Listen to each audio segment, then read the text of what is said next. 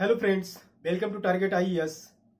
Uh, in last lecture, we have discussed uh, about the heat conduction through a slab and we have derived an expression for three-dimensional heat conduction equation with heat generation.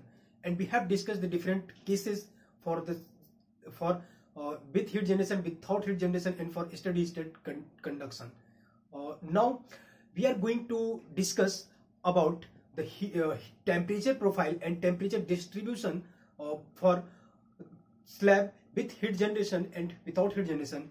And we will also discuss the case for the heat conduction equation uh, for uh, cylinder. We have already discussed in previous lectures about the heat conduction through hollow cylinder composite cylinder and a sphere. But today we will discuss the case for heat conduction with heat generation. So let's start. First we know that the uh, equation generalized equation for three dimensional case for a heat conduction through a slab is given as let us suppose that this is a slab and the equation for this slab heat conduction equation we know that written as del square T plus Q Q is heat conduction uh, heat generation sorry Q is heat generation upon K is equal to 1 up, uh, 1 upon alpha. Here alpha is thermal diffusivity and it is nothing but K upon rho Cp. We have already uh, discussed in last lecture and dt upon d tau. Okay, this is the general equation for three-dimensional case for the heat conduction through a slab. Now, what happen if we will write this equation for one dimensional, one dimensional. तो one dimensional case में अगर हम slab की बात करते हैं तो यहाँ पे सपोज़ करते हैं कि ये स्लैब वन डायमेंशनल केस के लिए हमें टेम्परेचर प्रोफ़ाइल इस स्लैब का ड्रॉ करना है। तो वन डायमेंशनल केस में अब जो टेम्परेचर वेरिएशन होगा वो सिर्फ़ unit direction that is X direction में वेरी होगा।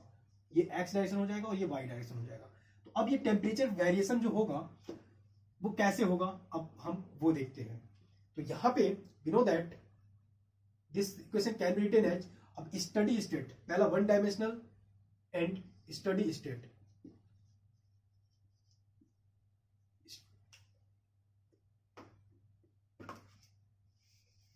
तो जो फ़र्स्ट केस हम डिस्कस करेंगे केस वन केस वन जो होगा, वो हो जाएगा steady state steady state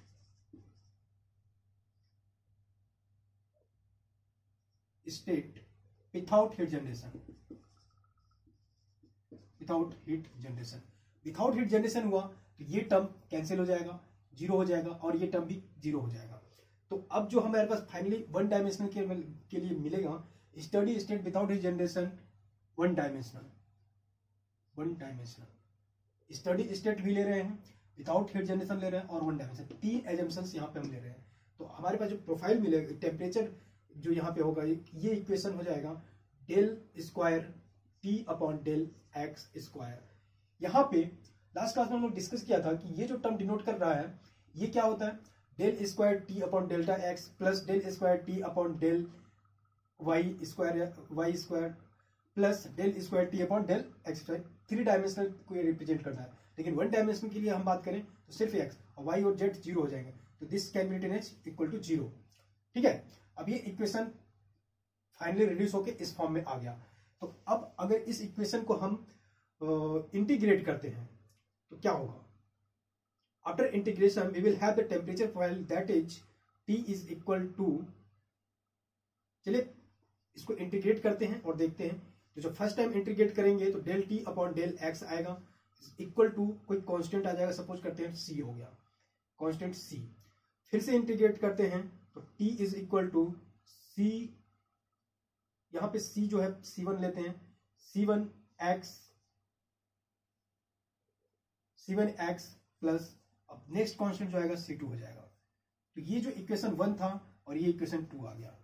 तो यहाँ से अगर हम देखें तो टेम्परेचर प्रोफ़ाइल जो इसके लिए हो रहा है without heat generation one dimensional और स्टडी स्टेट के लिए वो लीनियर है।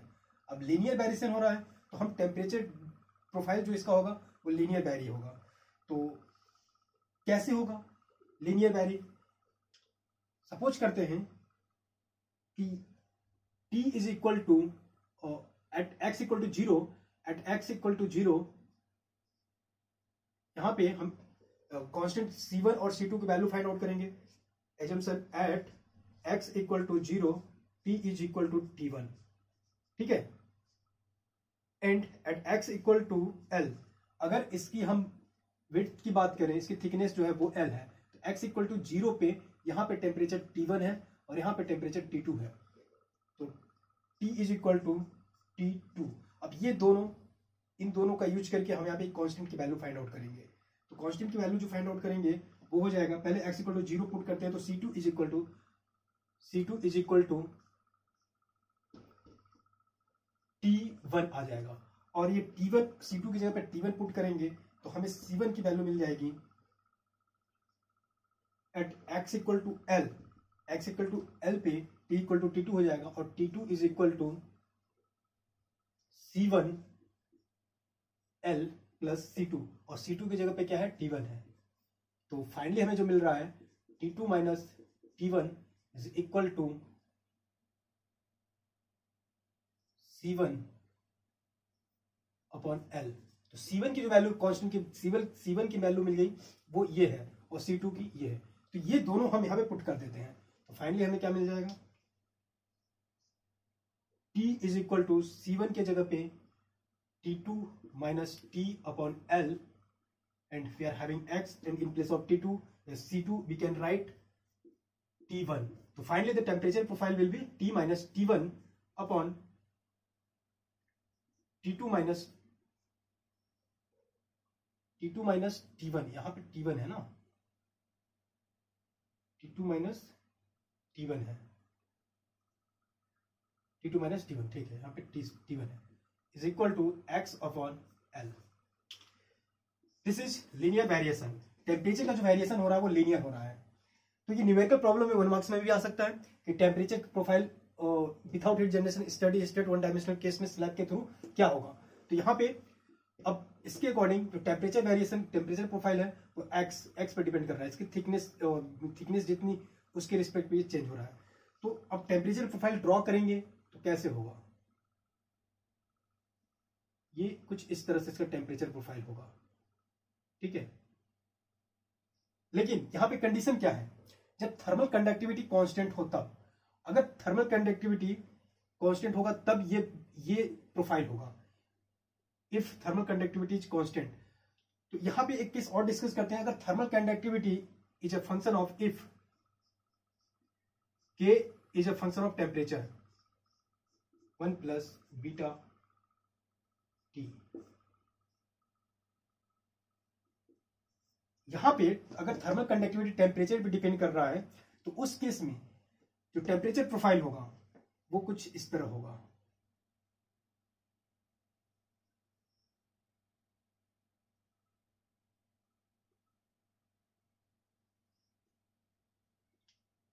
अब ये प्रोफ़ाइल बीटा पे डिपेंड करेगा। If beta is positive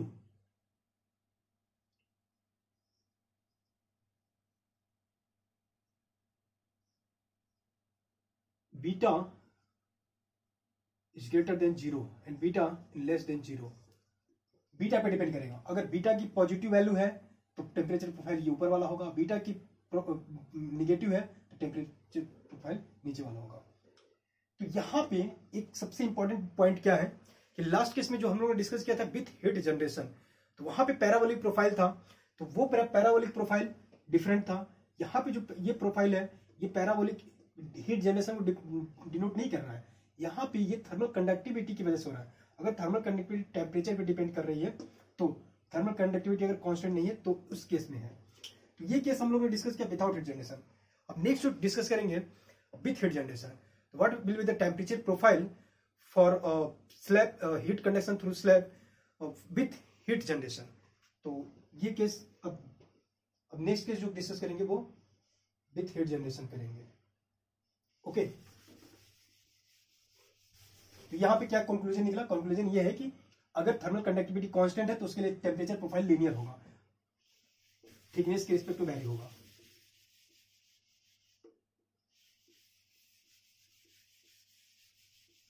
Now the next case we will discuss steady state with heat generation with heat generation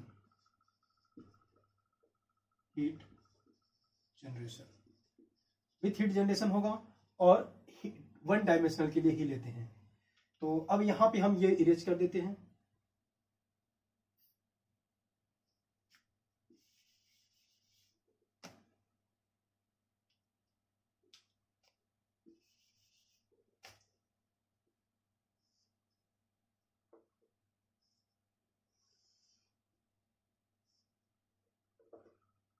now let us suppose that we are having this slab अब हम इस slab को थोड़ा और अच्छे से draw कर लेते हैं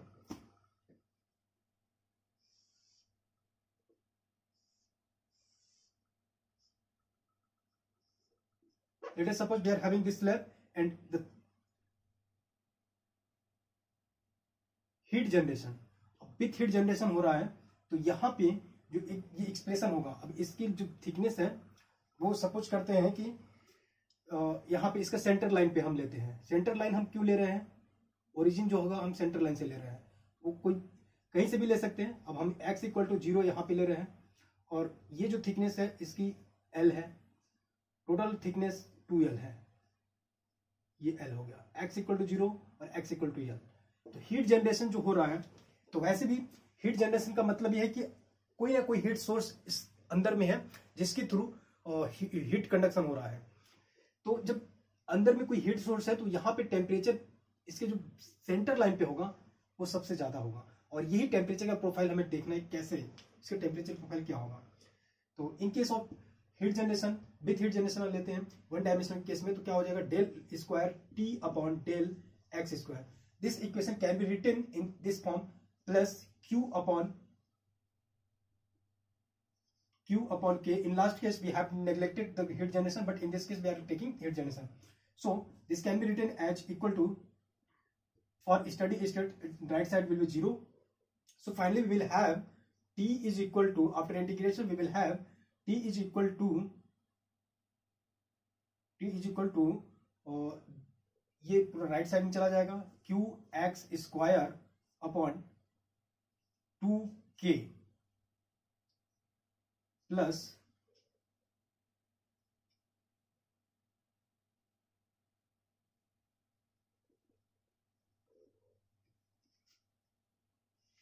Q X square plus two K plus C one X plus C two ठीक है? तो ये एक्सप्रेशन आ रहा है, इसको इंटीग्रेट चलिए, मैंने डायरेक्टली लिख दिया, लेकिन चलिए फिर से इसको मैं करके समझा देता हूँ, कैसे हो रहा है। तो यहाँ पे सिंपली इस इक्वेशन को हम कैसे लिख सकते हैं? Del del T del square T यहाँ इसको राइट साइड में पहले बार इंटीग्रेट करेंगे तो del T upon del X is equal to minus Q X upon K plus एक कांस्टेंट सपोज़ करते हैं सी बन गया। फिर नेक्स्ट टाइम पे इंटीग्रेट करते हैं तो minus Q X square upon two K plus C one X plus C two ठीक है? यही हमने लास्ट केस में लिखा था मैंने। अब यहाँ पे भी वही सेम इक्वेशन है। तो ये सेकेंड इक्वेशन या ये सपोज़ करते हैं फ़र्स्ट इक्वेशन था, और इसको सेकेंड इक्वेशन मानते हैं। अब यहाँ पे सी वन और सी टू की वैल्यू हमें फाइंड आउट करनी है। और सी वन और सी टू की वैल्यू कैसे मिलेगी? ये कुछ बाउंड्री कंडीशन के अकॉर्डिंग तो बाउंड्री कंडीशन क्या हो जाएगा? Boundary condition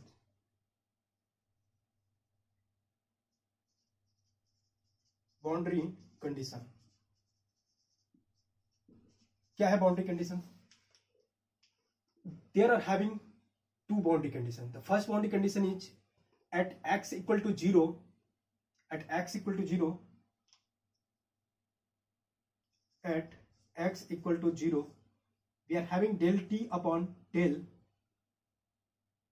temperature variation del T upon del X is equal to zero पहला boundary condition and next boundary condition is at x equal to L at x equal to L T equal to T wall suppose that the temperature at this wall is TW and TW यहाँ पे सबसे important point ये है कि इसका जो temperature है wall का दोनों का सेम टेम्परेचर ले रहे हैं हम टेम्परेचर डिफरेंट नहीं ले रहे हैं और at X equal to zero X equal to zero T is equal to T not T not क्या है? यहाँ का जो टेम्परेचर है सेंटर लाइन पे जो टेम्परेचर है, वो मैक्सिमम टेम्परेचर है टी नॉट है। तो अब ये कंडीशन हम यहाँ पे पुट करेंगे इस बाउंड्री कंडीशन में। Using boundary condition using boundary condition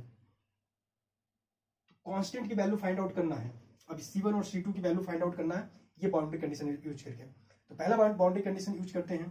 That is at X equal to zero T equal to T not तो एक्स इक्वल टू ज़ीरो पे T equal to T not आएगा तो C two is equal to using boundary condition C two is equal to X equal to zero यहाँ put करेंगे x equal to zero यहाँ put करेंगे तो T equal to T not maximum आ जाएगा तो C two is equal to T not आ जाएगा ठीक है तो एक कांस्टेंट की वैल्यू हमें सी टू की मिल गई अब हमें सी वन की वैल्यू फाइंड आउट करनी है तो सी वन की वैल्यू क्या होगी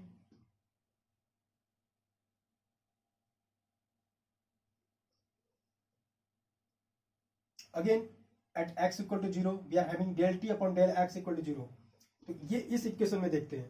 Del T upon del X at X equal to zero C one equal to C one equal to will be zero तो finally we are having both the value of constant c1 and c2 अब ये equation one में put करते हैं।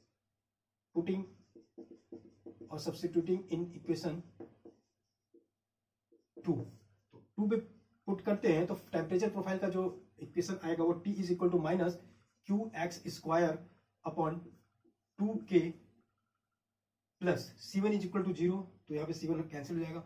C two is equal to having T not so we are having we are getting the temperature profile that is T is equal to minus Q X square upon two K plus T not this is the temperature profile equation third तो यहाँ पे हमें क्या मिल रहा है? तो temperature का जो वेरिएशन है, वो x, इसके x के अलोंग स्क्वायर है, यहाँ पे x स्क्वायर है मीन्स पावर टू है। We know that if there is a power two in any equation then that equation is generally known है और पैराबोलिक प्रोफ़ाइल तो यहाँ पे ये जो टेम्परेचर वेरिएशन होगा पैराबोलिक होगा। ठीक? तो टेम्परेचर वेरिएशन पैराबोलिक होगा।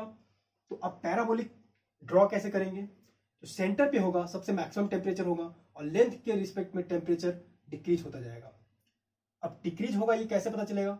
ये माइनस साइन यहाँ पे इंडिकेट कर रहा है। तो टी नॉट में से हम डिक्रीज इस जो टोटल ये सारा एक्स ये इसके, इसकी वैल्यू के अकॉर्डिंग टी नॉट में माइनस करते जाएँगे तो टेम्परेचर डिक्रीज होता जाएगा। और प्रोफ़ाइल जो होगा, वो पैराबोलिक ही होगा। तो अब यहाँ हम राइट साइड में ड्रॉ करें तो ऐसा आएगा। और लेफ़्ट साइड में ऐसा आएगा। तो ये बिल्कुल सिमेट्री होगा। इस, इसके रिस्पेक्ट में सिमेट्री बनेगा एकदम। तो सिमेट्री क्यों रहेगा? क्योंकि बॉल का टेम्परेचर दोनों सेम है। ठीक है? तो ये केस हो गया।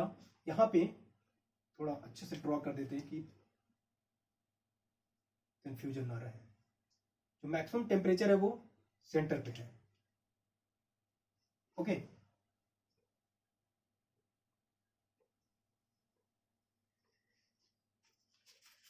ठीक है? I hope this is clear यहाँ तक सब क्लियर होगा कि टेम्परेचर प्रोफ़ाइल पैराबोलिक कैसे बना। So this is temperature parabolic temperature profile parabolic temperature profile ये टेम्परेचर प्रोफ़ाइल पैराबोलिक हो गया।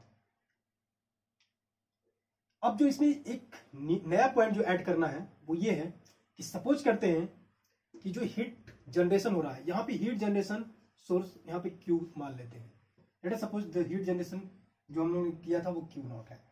अब ये जो हीट रिमूव हो रहा है सपोज़ करते हैं कि सराउंडिंग में जो फ्लूड है, उस पर हीट रिमूव हो रहा है। ओके तो जो ये सराउंडिंग फ्लूड है, अगर उसका जो हीट हीट ट्रांसफ़र कोएफिशिएंट जो है, वो एच है तो क्या होगा? उस केस में अब हम नेक्स्ट केस इसमें डिस्कस करेंगे। सबसे इंपॉर्टेंट पॉइंट था ये, यहाँ पे जो टेम्परेचर हमें प्रोफ़ाइल मिला है इसको ध्यान में रखना है। अब जो नेक्स्ट केस डिस्कस कर रहे हैं कि अगर ये स्लैब जो है सराउंडिंग फ्लूड कोई भी बाहर फ्लूड है सराउंडिंग में, वो उसके कॉन्टेक्ट में ये सरफेस है तो फिर क्या होगा?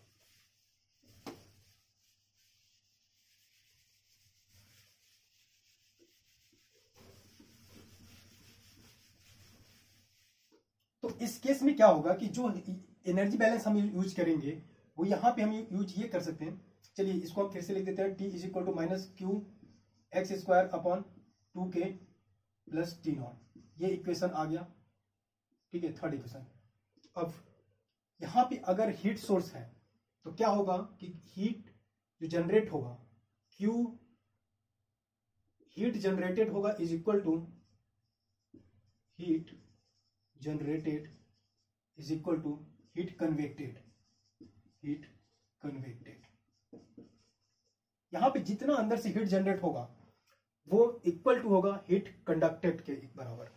अगर बाहर में कोई फ्लूड है, जिसकी थर्मल ये हीट ट्रांसफ़र कोफिशियंट एच है, और टेम्परेचर सपोज़ करते हैं कि टेम्परेचर जो है वो टी इंफिनिटिव है।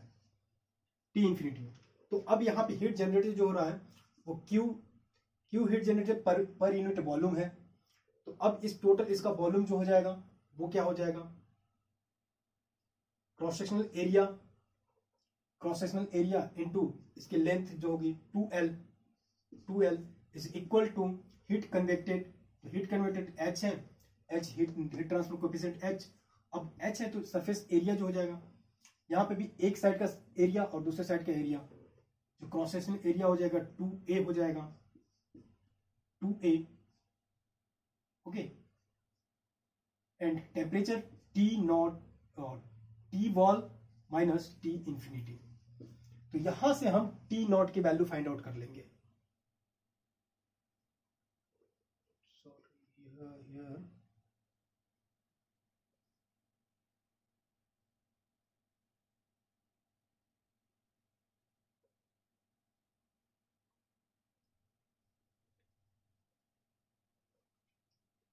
T equal to minus Q X square upon two C two T not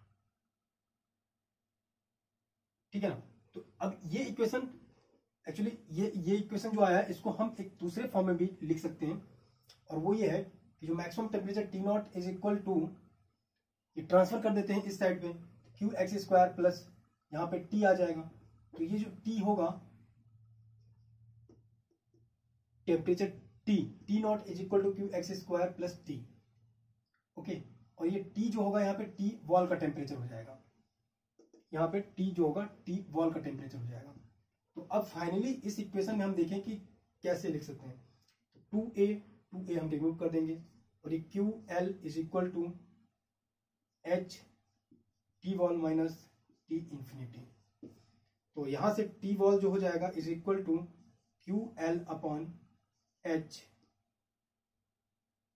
plus T infinity तो अब ये इक्वेशन फोर से टी वॉल की वैल्यू यहाँ पे पुट कर देंगे। तो हमें क्या मिलेगा? Maximum temperature T not is equal to Q X square upon two K T wall की जगह पे plus Q L upon H plus T infinity ये एक नेक्स्ट केस था। वैसे मेनली इक्वेशन यहीं पे है कि यहाँ पे टी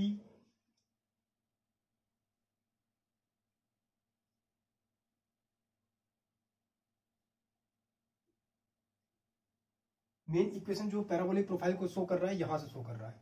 अब ये इक्वेशन था जबकि हम फ्लूट का भी हीट ट्रांसफ़र कोएफिशिएंट फ्लूट को भी कंसीडर कर रहे हैं तब। तो यहाँ पे एक्सप्रेशन मिल गया हमें हीट हीट जनरेशन के थ्रू टेम्परेचर प्रोफ़ाइल का।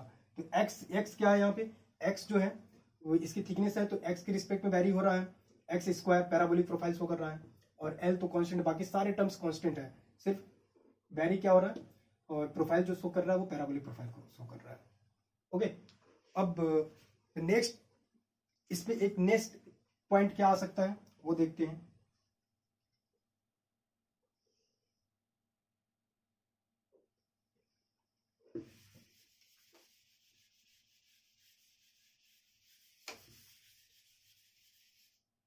If one side is insulated अब अगर जो नेक्स्ट केस देखते हैं सपोज़ करते हैं कि अगर एक साइड चलिए ये रिमूव रिमूव कर दे रहा हूँ मैं।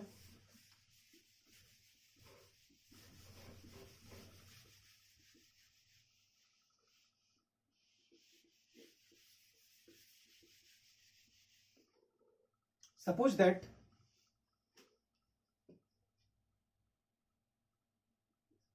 जो नोट में लिखना है, ये इंपॉर्टेंट पॉइंट अभी यहाँ पे देखना है। If wall temperature are different if wall temperatures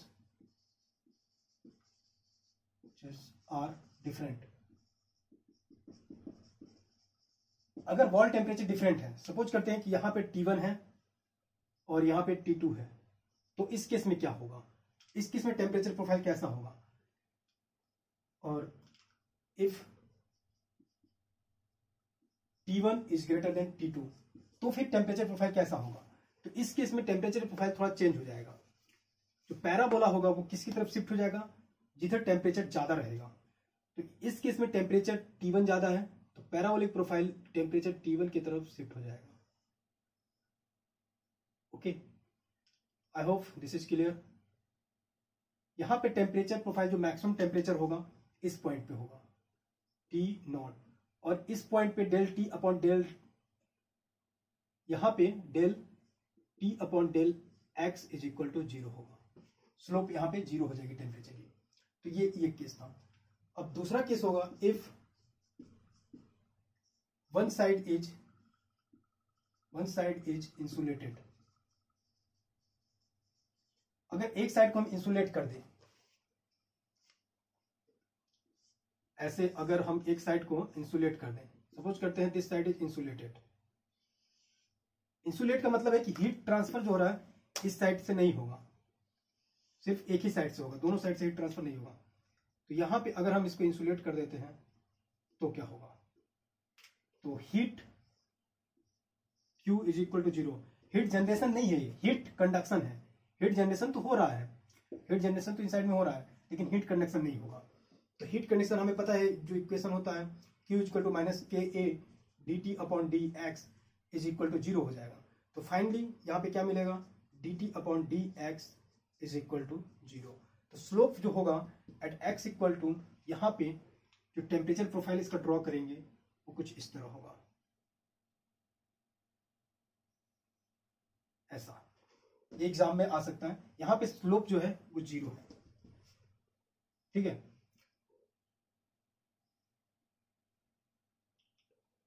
ये केस हो गया। If one side is insulated now we will discuss the case for heat conduction और generate generalized three dimensional equation heat conduction equation with heat generation for cylinder अब cylinder के लिए मैं पूरा derive नहीं करूँगा एक्सप्रेशन मैं डायरेक्टली एक्सप्रेशन लिख दे रहा हूँ और जो उसमें इंपॉर्टेंट पॉइंट है वो डिस्कस करूँगा। और सिमिलरली स्फेयर के केस में भी करते हैं। Okay I hope this is clear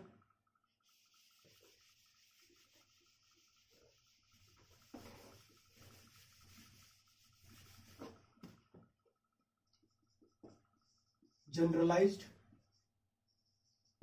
Generalized heat conduction equation conduction equation in three D for cylinder अब सिलेंडर के लिए हम देखते हैं। तो suppose that this is cylinder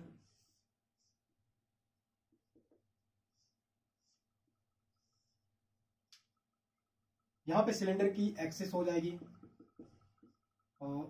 and this is radius और यहाँ पे हीट कंडक्शन जो होगा, वो इस डायरेक्शन में होगा रेडियल डायरेक्शन में। क्यू और इनसाइड में जो हीट जनरेशन हो रहा है, वो क्यू नॉट हो रहा है। तो यहाँ पे जनरलाइज हीट कंडक्शन इक्वेशन जो होगा, यहाँ पे बेसिकली थ्री कोऑर्डिनेट्स होते हैं। एक्स वाई जेड डायरेक्शन में यहाँ पे जैसे हम एक कर्टेशियन कोऑर्डिनेट्स में या फिर जब जो लास्ट केस में डिस्कस किया स्लैब के लिए, वहाँ पे थ्री डायमेंशन होता था एक्स वाई एंड जेड तो इसी तरह से जो सिलेंडर की केस में होगा, यहाँ पे जो थ्री डायमेंशन होंगे, वो रेडियल डायरेक्शन होगा, एक, दूसरा इसके लेंथ के अलग होगा, तीसरा उसके सर्कमफ्रेंशियल डायरेक्शन में जो जो सर्कमफ्रेंशियल डायरेक्शन होता है, वो क्या होता, कहलाता है एजीमुथल एंगल तो ये कैसे हो रहा है? अगर हम एक कोई थ्री इसको ड्रॉ करें और ऐसे देखें तो समझ में आएगा कि कैसे हो रहा है। एक हो गया ये रेडियल डायरेक्शन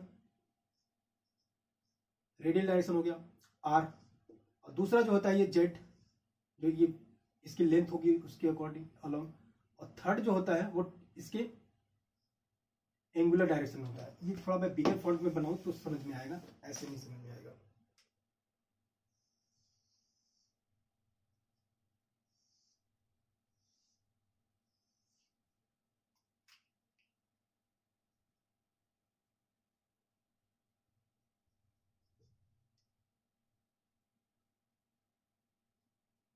ये रेडियल डायरेक्शन हो गया एक।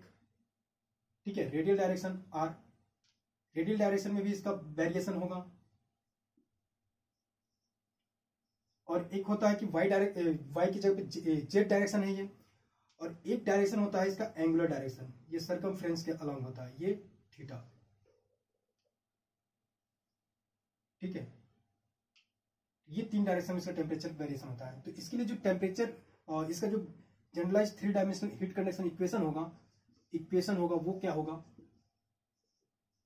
अब अब यहाँ पे हमारा एजम्पन है कि सिर्फ़ टेम्परेचर जो वेरिएशन हो रहा है, वो सिर्फ़ रेडियल डायरेक्शन में वेरी हो रहा है। बाकी जो वाई जेड डायरेक्शन और एजीमुथल एंगल डायरेक्शन जो होगा, वो हम नेग्लेक्ट कर दे रहे हैं।